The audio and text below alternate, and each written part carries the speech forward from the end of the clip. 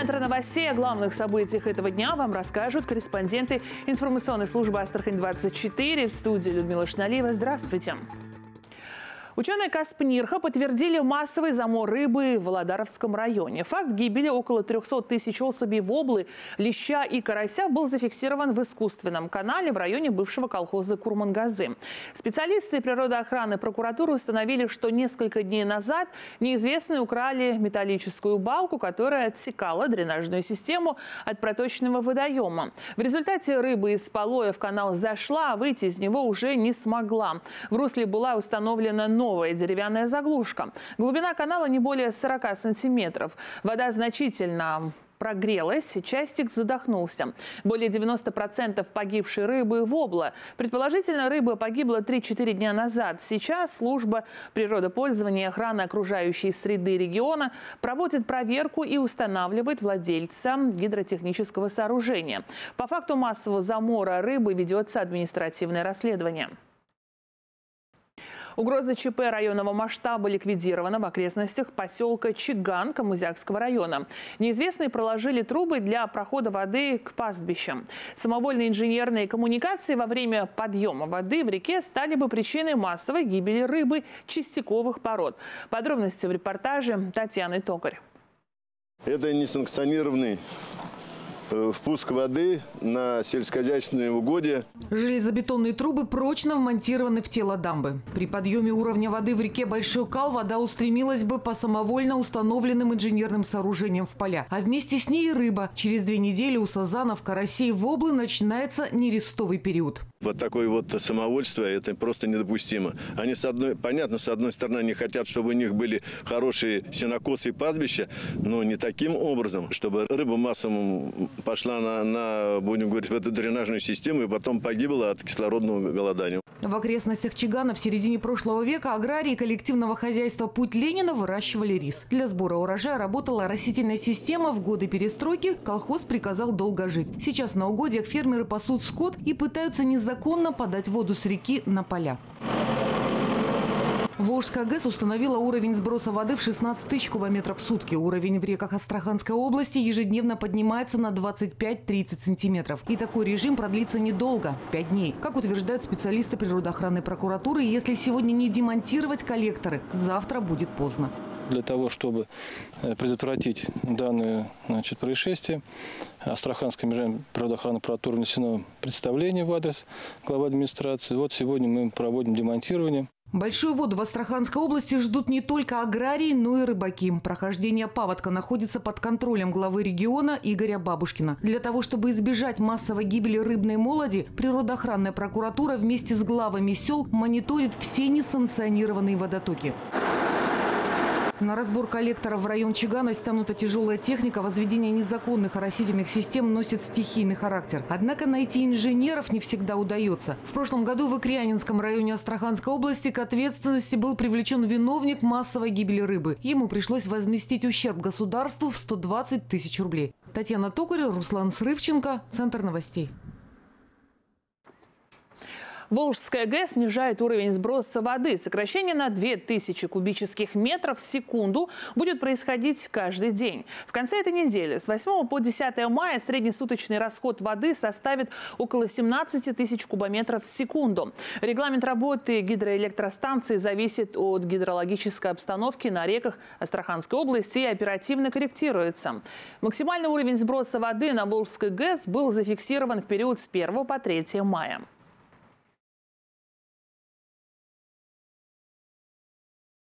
К другим новостям. Астраханские аграрии увеличивают посевные площади под картофель. Под эту культуру в этом году отведено почти 12 тысяч гектаров земли. Со сбытом картофеля у сельхозпроизводителей проблем не возникает. На Дальнем Востоке из-за погодных условий уже несколько лет э, регистрируют неурожай картофеля. Цена за 1 килограмм поднимается до 100 рублей. Хабаровские фермеры вынуждены продавать семенной материал сельхозпредприятия. Астраханской области уже высадили картофель на площади в 7 тысяч тысяч гектаров. Урожай планируют собирать в первых числах июля. По данным Минсельхоза, Астраханская область занимает четвертое место в стране по объему валового сбора картофеля.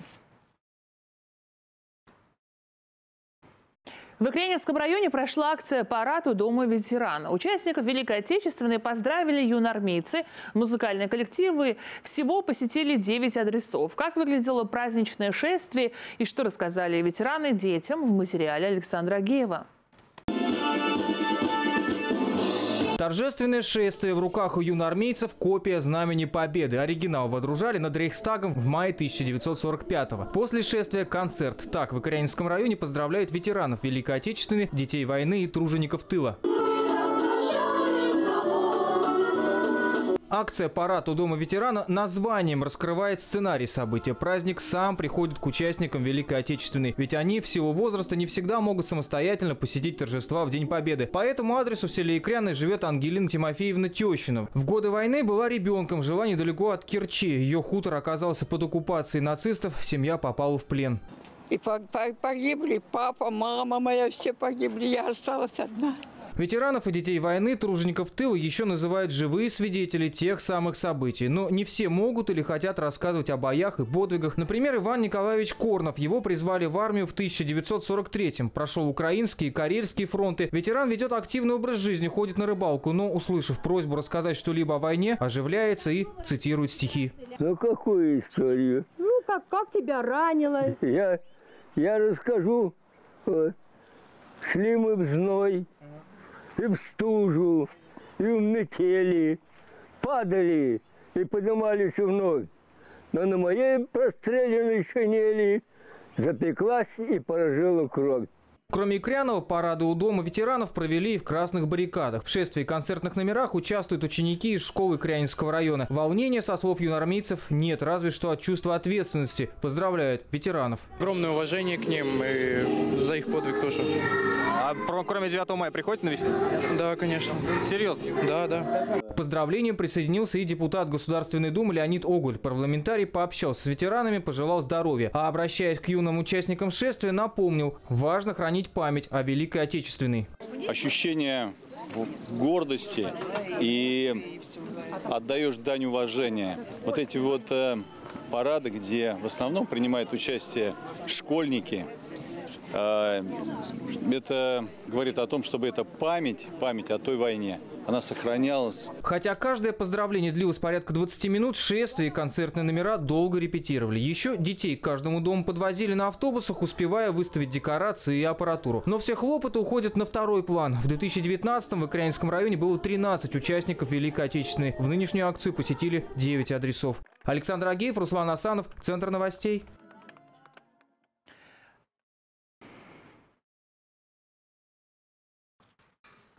В этом году техническая база регионального подразделения «Водолаза Волга-Спаса» пополнится судном на воздушной подушке. Подводникам новая техника позволит выполнять ряд сложных задач, в том числе и зимой. Сегодня у водолазов профессиональный праздник. В связи с этим базу э, «Волга-Спаса» посетил министр промышленности и природных ресурсов Астраханской области Денис Афанасьев. Он поздравил водолазов и лучшим специалистам вручил благодарственные письма. Сегодня в штате региональных водолазов заказов 40 человек. В прошлом году они осуществили 400 операций, спасли 33 человеческих жизней, 11 из них – дети. Все это высокопрофессиональные люди и, должен сказать, искренне преданные своему делу. Искренне преданные и профессионалы. Потому что действительно эта работа очень непростая. Это мы сейчас в таких прекрасных погодных условиях, а водолазы работают и зимой, и летом, и под лед ныряют. То есть э, задачи самые сложные и непростые выполняют. Водолазы Волга-Спаса выполняют различные спецоперации для любых подразделений и структур. В помощь профессионалам современное оборудование, аппаратура и костюмы. Специалисты Волга-Спаса также продемонстрировали их Денису Афанасьеву в ходе его визита на базу водолазов. Благодаря поддержке регионального правительства спецоборудование для подводников постоянно обновляется аппаратура для подводной, подводной съемки, аппаратура для э, переговоров под, под водой. Ну и, соответственно, сейчас э, новые современные э, образцы вооружения, такие как ножи, сапоги и так далее, линеметы, которые на 100 метров можно выстрелить и подать утопающему спасательное средство. Астраханцы могут стать участниками шествия «Бессмертный полк». Народная патриотическая акция в этом году вновь пройдет в онлайн-формате. От точного формата организаторы «Бессмертного полка» отказались из-за пандемии коронавируса. Дистанция между участниками акции в колонне шествия минимальна, что нарушает требования Роспотребнадзора и противоречит ИПИД-правилам. Поэтому было принято решение провести ежегодную акцию онлайн на сайте. На единой площадке 2021.полк.рф.ру ру каждый может разместить портрет ветерана Великой Отечественной войны, историю о нем и его подвиге. Прием заявок завершится 7 мая в 9 вечера. В этом году трансляция «Бессмертного полка» в Астрахани начнется 9 мая в 3 часа дня. Онлайн-шествие будет доступно в эфире «Астрахань-24» на сайте телеканала, а также в социальных сетях патриотического проекта. По данным организаторов акции, уже почти две с половиной тысячи астраханцев подали заявку на участие в онлайн-шествии. Все заявки будут рассматривать специально подготовленные модераторы. Как правильно оформить свою заявку и как будет проходить трансляция бессмертного полка в регионах. Узнаем у члена Центрального штаба общественного а, движения «Бессмертный полк России». На прямой связи со студией Борис Левицкий. Борис Евгеньевич, добрый вечер. Добрый вечер. Все а, заявки, насколько мы знаем, будут рассматривать специально подготовленные модераторы. Какие заявки могут не пройти отбор и каковы требования? Да, действительно, в этом году пандемия нас заставила а, еще раз обратиться к онлайн-формату. А, у нас есть партнеры очень серьезные, это Сбербанк и Mail Group, а, те коллеги, которые глубоко знают IT-сферу. И в этом году, для того, чтобы шествие, как было в прошлом году, не растягивалось на целых 20 дней, потому что это было 3 миллиона участников, и они 20 дней шли по телевизионным каналам на видеопанелях. Для того, чтобы оно прошло за 1-2 дня, было сделано следующее. Теперь все шествие Бессмертного полка будет проходить по субъектно. Вот в Астраханской области будет идти своя колонна из своих ветеранов, из своих героев – а в городе Москве будет своя колонна. Таким образом, можно будет увидеть своего героя а, в День Победы, 9 мая. И больше того, если вы зарегистрируетесь в анкете, в анкете и у вас, э, вам придет обратный код, когда ваш герой пройдет, можно будет отмотать вправо, влево и не ждать у телевизионного экрана, а получить эту информацию э, намного раньше и знать, когда твой ветеран пройдет в шествие. И, грубо говоря, просмотреть это на компьютере и в гаджете. Я своего героя, своего деда, участника войны, ввел в эту цифровую анкету в течение пяти минут со своего телефона. Здесь это можно сделать а, через а, свою электронную почту, зарегистрировать а, значит, свой аккаунт, через социальную сеть Одноклассники, ВКонтакте. Вот и, или через сайт 2021.polkrf.ru. В этом году есть новшество. Мы попросили, коллеги сделали нам помощь, подарили целого робота. Все фотографии будет э, фильтровать робот.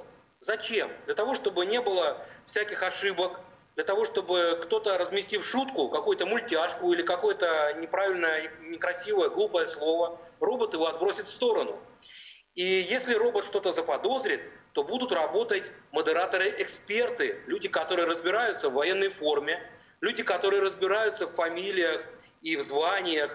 И здесь, в Астрахани, работает, в Астраханской области, целая группа модераторов-экспертов, которых порядка 100 человек – будет отслеживать вот эти поручения робота. Если вдруг эти эксперты не справились, то следующая волна экспертов – это эксперты, историки, которые будут знать все детали. Если вдруг робот отбросил анкету и не зарегистрировал, если модератор-эксперт тоже заподозрил что-то неладное, ну, допустим, форма железнодорожника или форма союзных войск, и здесь модератор-эксперт, историк – внимательно рассмотрит анкету, и после этого он ее запустит в цифровой поток.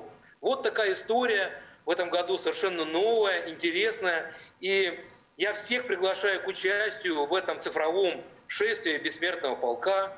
Я прошу молодежь помочь старшему поколению, потому что в телефонах и гаджетах наша молодежь разбирается лучше.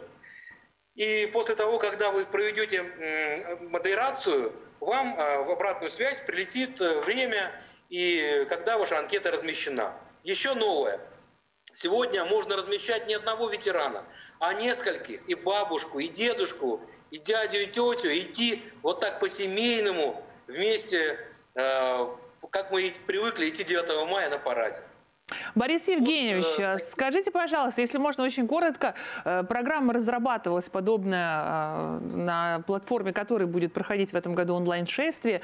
Кто разработчики и как долго готовилась данная платформа? Разработчики – это Сбербанк и компания Mail.ru.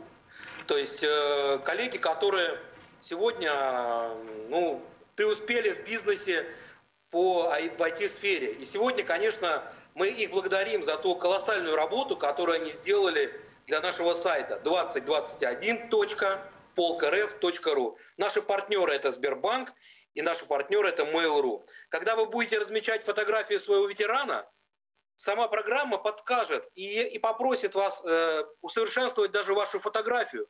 Я из фотографии своего ветерана, из деда, она у меня была черно-белая, меня сайт э, Сбербанка попросил ее разретушировать, и у меня фотография сделалась цветной. Это очень замечательно, и спасибо айтишникам за то, что они э, сделали такой подарок нам, участникам этого шествия. Прекрасно. А те, кто был участником э, данной акции в прошлом году, нужно ли им повторно в этом году отправлять заявку, или она уже автоматически появляется на сайте? Обязательно нужно. В прошлом году все попали в одну всероссийскую такую колонну большую, которая шла 20 дней. К сожалению, эти фотографии сегодня выбрать и взять их опять в нашу региональную не получится. Поэтому мы очень просим организаторов, тех, кто помогает нашей акции, это и государственные организации, и общественные организации. Вот в Астраханской области это Министерство образования и науки, они большие молодцы это патриот-центры, ребята, которые, поисковики, которые нам помогают. Мы с ними на связи и пытаемся сделать так, чтобы всем было легче. К сожалению, прием анкет закончится 7 мая, и надо спешить, чтобы твой ветеран занял первые ряды в колонне бессмертного полка. Поэтому, к сожалению, фотографии нужно сделать новые. Спасибо вам большое. Напоминаю, на прямой связи со студией был член Центрального штаба общественного движения «Бессмертный полк России» Борис Левицкий. Мы переходим к другим новостям.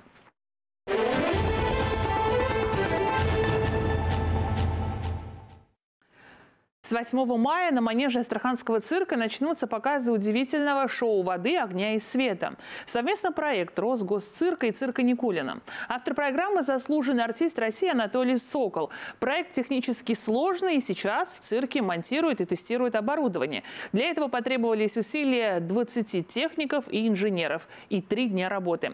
Элеонора Лем расскажет подробнее. Величественно и одновременно легко под купол уходит красный бархатный занавес весом полтонны. Он тоже часть большого представления под названием «Шоу воды, огня и света».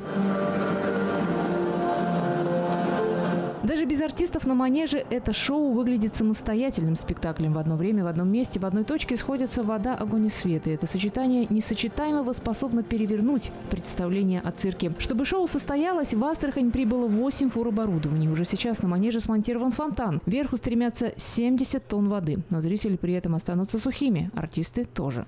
Это не то, что демонстрация каких-то технических э, оснащений, каких-то технических новшеств.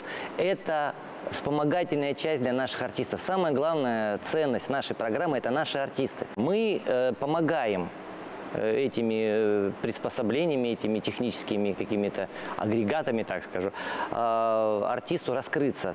Световая партитура расписана по звуковым дорожкам музыкального сопровождения. Софиты под куполом вращаются на 360 градусов, а цветные проекции способны создавать волшебную картинку. Программу, созданную заслуженным артистом Анатолием Соколом, уже называют русским дюсалей. Но отличие все-таки есть. На манеже в цирке Никулина животные работают, но только те, которые легко поддаются дрессуре.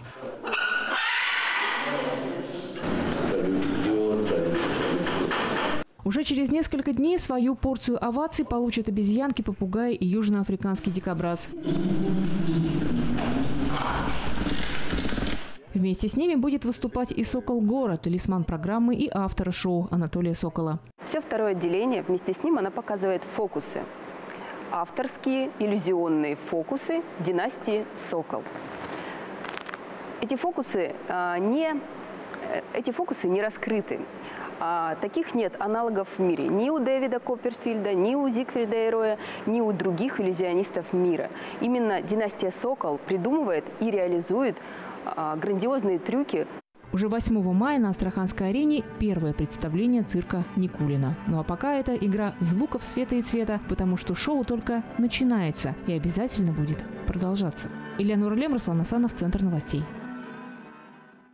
Ровно сутки остаются до большого спортивного матча. Завтра гандбольная «Астраханочка» поспорит с Ростов-Доном за путевку в финал чемпионата страны. Первый матч состоится в спорткомплексе «Звездный». В эти минуты астраханки проводят одну из последних тренировок перед встречей. На ней присутствует и наша съемочная группа. На прямую связь со студией выходит мой коллега Артем Лепехин. Артем, добрый вечер. В каком настроении подходят наши астраханочки к битве с ростовчанками?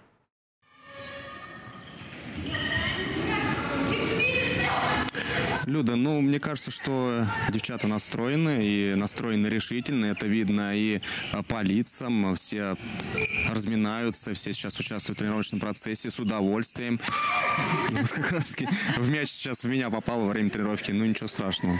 А, рядом со мной находится капитан Астраханочки Карина Ежикова. Карина, ну, наверное, настроение боевое у команды. И, наверное, настроено решительно и готовы дать бой завтра ростовчанкам. Конечно, конечно, боевой настрой. Во-первых, потому что, ну, понятно, что уже нет слабых игр, остались только важные матчи, и все мы знаем, э, какая цена этих матчей, поэтому первый матч у нас дома.